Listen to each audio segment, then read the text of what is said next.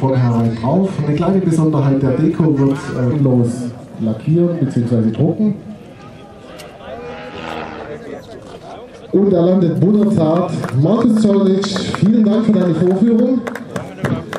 Timo Ross. Ich übergebe mal das Mikrofon kurz an Marc Tüpprath. Wollen jetzt nochmal richtig die Sau rauslassen. Da sind sogar zwei Teampiloten bei, die gar nicht für uns fliegen, sondern nur für Mikado. Hier immer Vollgas geben. Man muss sagen, ihr seid auf den Markt gekommen vor ungefähr vier Jahren, vier, fünf Jahren. Ja, so 2011, 2012 genau. durchgestartet. Im Bereich noch und jetzt auch bei RC Autos. Hier, wir sehen auch einen. Wir haben hier mehrere Logos, einen auch mit Verkleidung drin.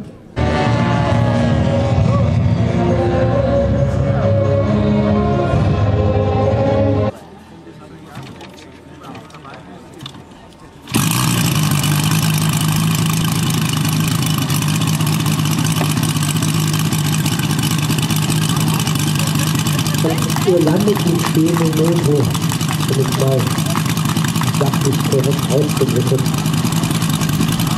So, Fox.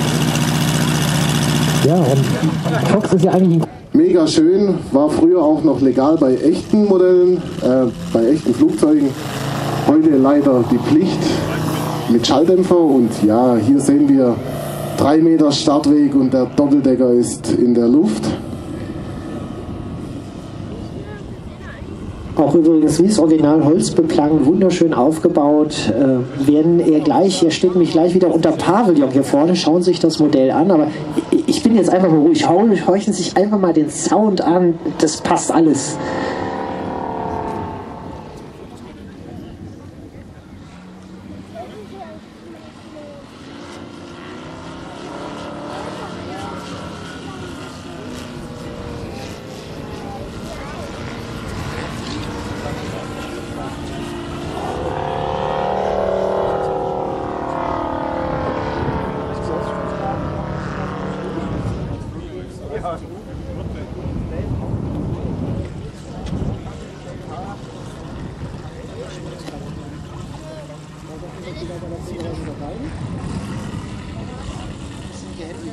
Ja, und wir sehen hier die schön langsame Fluggeschwindigkeit gegen den Wind bei der Maschine. Bei Modellen fortgeschritteneren Alters oft so, dass sie sehr seitenwindempfindlich sind durch das große Ruder. Aber hier haben wir so viel Kraft, so viel Druck. Wir sehen hier richtig schönen klassischen Kunstflug.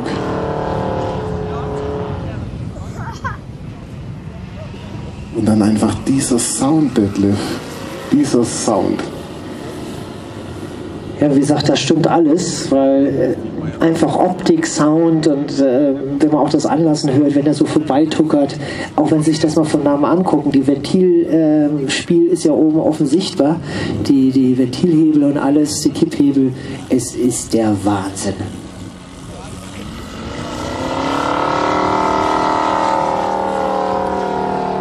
Ja, liebe Zuschauer, was Sie hier in der Luft sehen, das ist ein ganz exorbitantes Modell, nämlich von dem berühmten Flieger, Kunstflieger, Jagdflieger Udet aus dem Ersten Weltkrieg.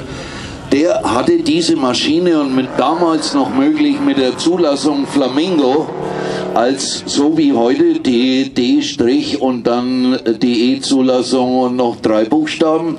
So wurde das, die Maschine konnte damals nach dem Wunsch der Piloten auf einen Namen zugelassen werden. Und dieser Flamingo von Udet, der war unglaublich berühmt, weil Udet bis heute der einzige Pilot auf der Welt war, der das Kunststück fertigbrachte, vor versammelter Ehrentribüne zunächst eine, eine Dame der Honoration zu bitten, ihm ihr Halstuch oder Tüchlein oder was auch immer möglichst groß zu überlassen.